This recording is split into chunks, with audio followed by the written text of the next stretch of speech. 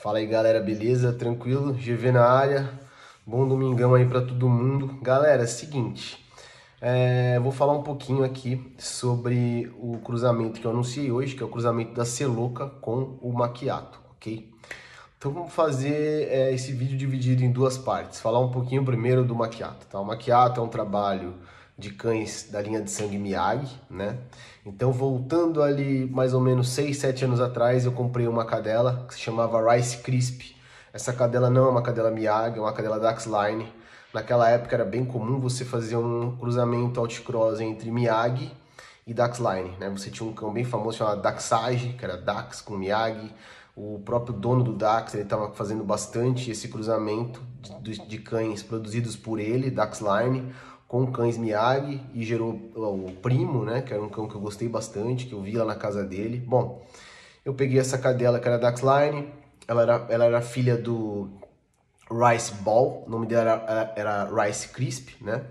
Paguei a, a cobertura do Mr. Miyagi, fiz a inseminação dela no Mr. Miyagi, que foi intrauterina.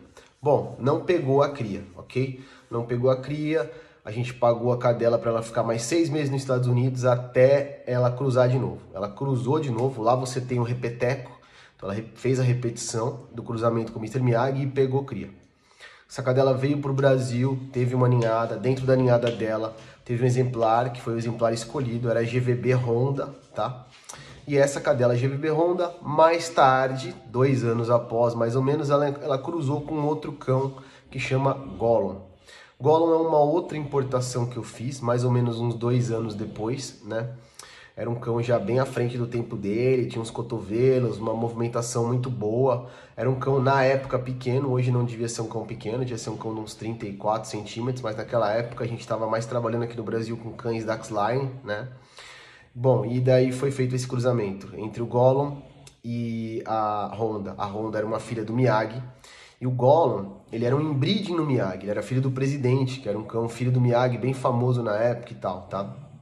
Bom, desse cruzamento foi gerada a Lexane, a GVB Lexane, que é uma cadela que tem aquele aquele look Miyagi, a gente fala, né? Uma cadela que tem aquele OG look que a gente fala, né? O look Miyagi mais antigo, sem aquele abudogamento, né? Uma cadela chimeio, que a gente fala, uma cadela muito masculinizada, uma cabeça enorme, é uma baita de uma cadela. Bom, alguns anos depois essa cadela foi inseminada no Dom, que é filho do Choke, do meu amigo Lauro, ok?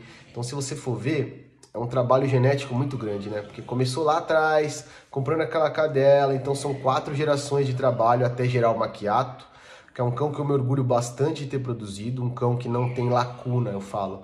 É um cão que ele não tem. Ah, qual que é o defeito? Não, não tem. Ele tem uma boa traseira, uma boa movimentação, uma cabeça alucinante, uma cabeça bem moderna, é um cachorro que tem bastante músculo, não tem nada aquele que fica devendo, sabe? Nele.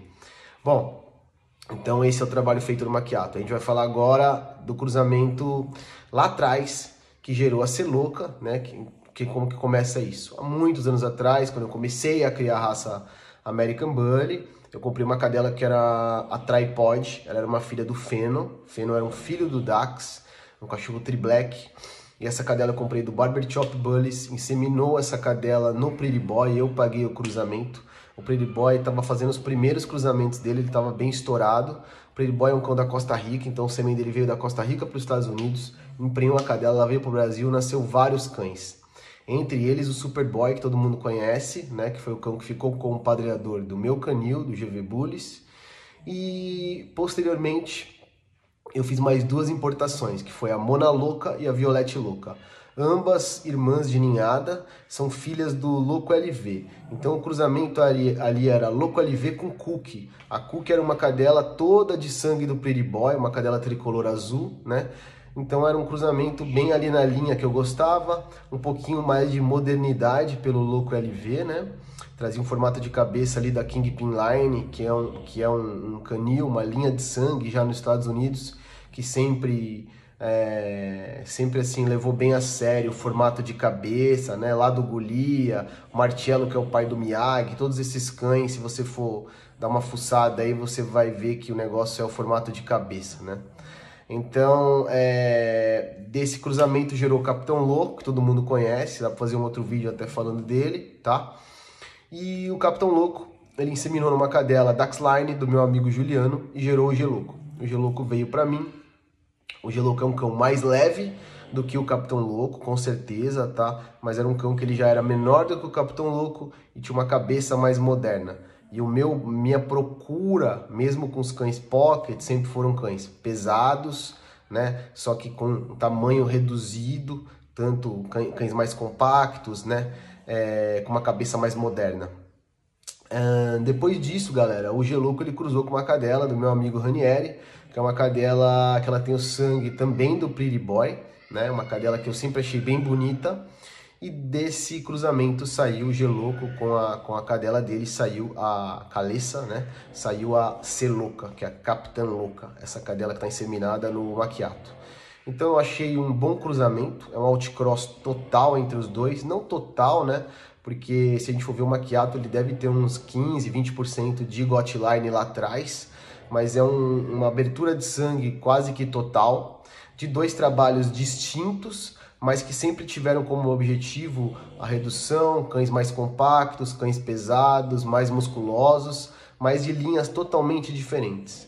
Então, galera, acho que é isso aí, deu para falar um pouquinho desse cruzamento, espero que vocês tenham gostado. Um abraço, um bom, final de domingo aí para todo mundo. Valeu!